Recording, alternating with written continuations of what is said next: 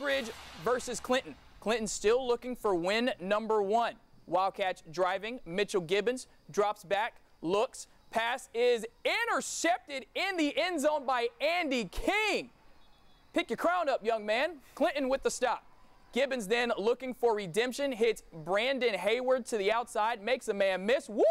And see you knocking on the door right there inside the red zone. Gibbons handoff to Kendall Jackson for the touchdown. Oak Ridge leads 7 to nothing, and the Wildcats win 36 to nothing over Clinton.